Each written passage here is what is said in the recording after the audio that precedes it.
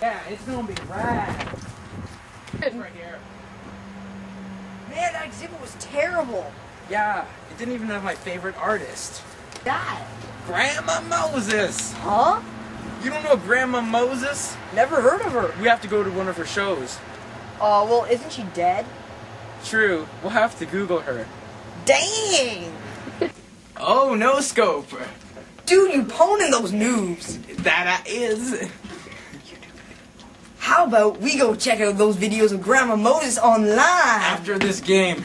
Videos, boss. I know, we have to go to the exhibit tomorrow. Definitely. We have to. Okay, We are. we are. It's gonna be dope, yo.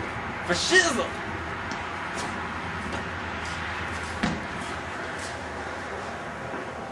for this totally psych cool exhibit. Yeah.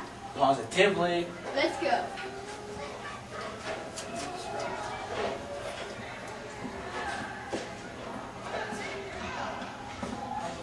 Grandma Moses was born in 1860 and she died in 1961 at the crisp, ripe old age of 101.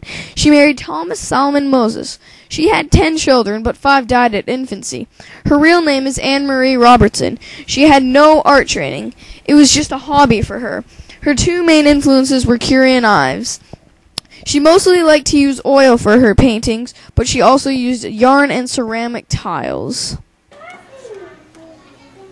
So, what do you guys like about Grandma Moses' art? I like all the mediums she used, fool. I thought it was cool how she had no art training whatsoever. So, Skills. so, what's your favorite artwork of hers? Fourth of July. Same. Well, that's cool. This concludes our tour. Awesome. High five!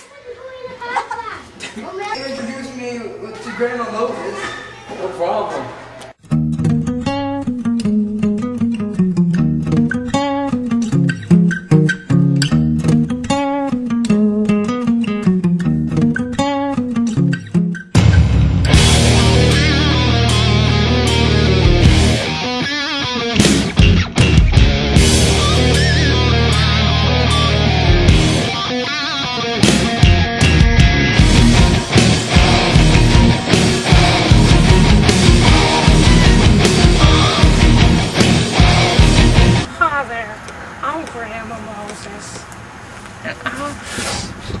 you're probably wondering if I'm the grands, grandmother of Moses.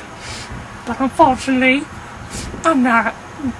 I'm 11 to 1 years old and I've got that just as many times as how many years I'm old. But anyways, I approve this message.